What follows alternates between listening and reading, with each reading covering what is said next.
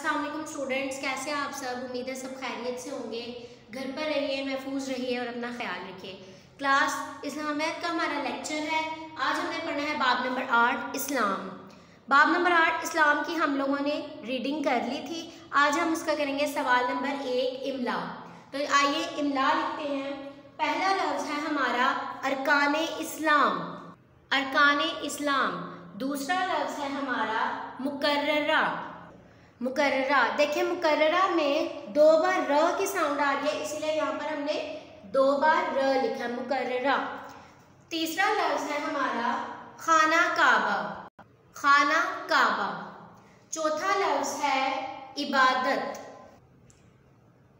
इबादत। इबादत पांचवा लफ्ज़ है हमारा मुताबिक। मुताबिक। अरकान इस्लाम खाना काबा मुकर्रा इबादत, मुताबिक। तो आइए अब नीचे देखते हैं सवाल नंबर दो। सवाल नंबर दो है हमारा, खाली जगह पुर करें। खाली जगह पुर करें। अल्लाह ताला के सिवा कोई डैश के लायक नहीं। अल्लाह ताला के सिवा कोई किसके लायक नहीं? इबादत के लायक नहीं। अल्लाह ताला के सिवा कोई इबादत के लायक नहीं।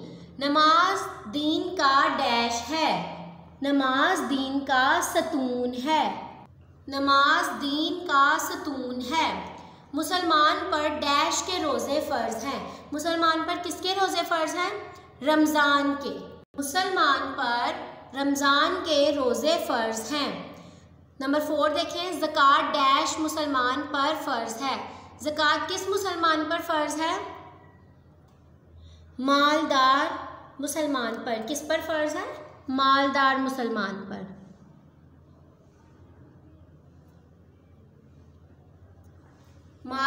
मुसलमान पर फ़र्ज़ है। खाना काबा को डैश भी कहते हैं। क्या कहते हैं खाना काबा को? हमने क्या पढ़ा था? बैतुल्ला। खाना काबा को और क्या कहते हैं? बैतुल्ला। खाना काबा को बैतुल्ला भी कहते हैं। सवाल नंबर दो का बेहिस्सा देखिए। कॉलम मिलाने हैं। कलमा तैयबा। कलमा तैयबा क्या है? कलमा तैयबा अल्लाह के सिवा कोई इबादत के लायक नहीं। कलमा तैयबा क्या है? अल्लाह के सिवा कोई इबादत के लायक नहीं। नमाज़। नमाज़ क्या है? दीन का सतून है। ज़क़़त। ज़क़़त क्या है? माल का वो मुकर्रा हिस्सा जो मालदार शख्स साल में एक मरतबा अल्लाह की राह में खर्च करता है। उसे हम क्या कहते हैं? ज़क़़त। रोज़ा। रोज़ा क्या है? फजर से मगरिब तक खाने, पीने और बुरे कामों से दूर रहना, रुके रहना, उसे हम क्या कहते हैं? रोज़ा। और हज क्या है? लफ्ज़ी मायनी है इरादा करना। हज के लफ्ज़ी मायने है इरादा करना। ये आप लोगों ने नीट एंड क्लीन राइटिंग में सॉल्व करना है क्लास। तो आइए नेक्स्ट क्वेश्चन नंबर थ्री देखते हैं सवाल के जवाब जी तो क्लास सवाल जवाब देखिए।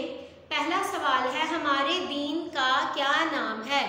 हमारे दीन का नाम इस्लाम है। हमारे दीन का नाम इस्लाम है। सवाल नंबर दो है, इस्लाम के पाँच अरकान कौन कौन से हैं? कौन कौन से पाँच अरकान हैं?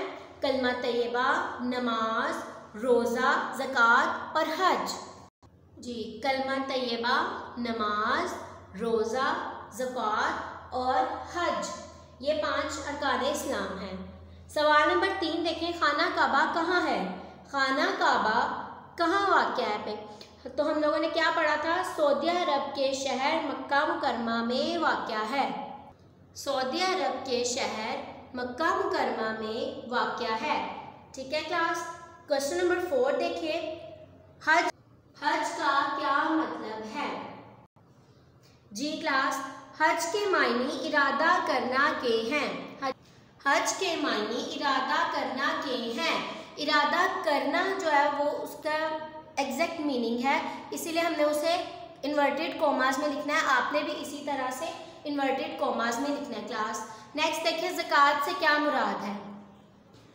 माल का वो मुकर्रा हिस्सा जो मालदार शख्स साल में एक मरतबा अल्लाह ताला की राह में खर्च करता है, उसे क्या कहते हैं?